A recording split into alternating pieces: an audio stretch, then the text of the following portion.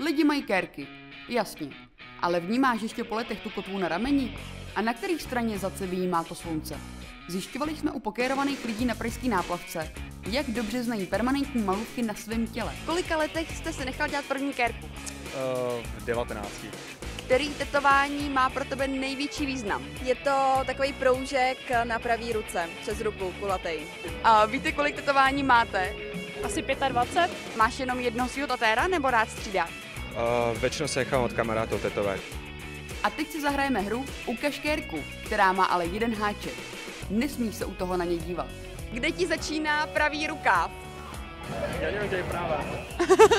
Ukáž na nápis na zápěstí. Kde je? Tak ukaž přesně na kytičku na pravý ruce. Já mám Jo? v tom černém rukávu máš kytičku, tak kde, kde pak ji máš? na hřbetu ruky máš kruh, tak ukaž přesně do jeho středu. Správně. Ukaž na volný místo na levé ruce.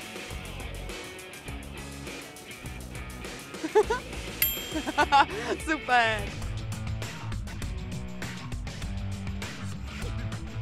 Ukaž, kde je přesně proužek na pravé ruce.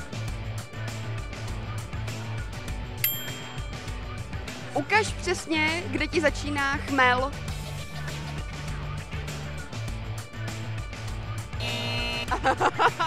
Ukáž, kde máš růžičku.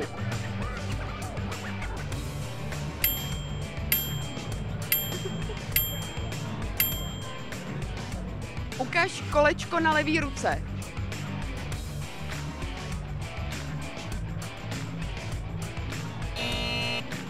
Úplně blbě. Evidentně to není zas takový lehárko. Tak, kde je zub? Uh, kde je podkova? Kde začíná maják? A kde je ponorka nebo vesmírná loď? Hodně mimo. Ukažte na obilí. A ukažte na největší ptáčka na stromě.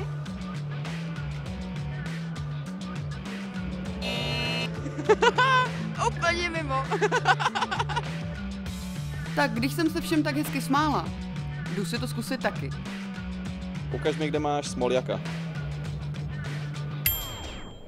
Prostřední obrázek lodičky. Té spodní lodičky.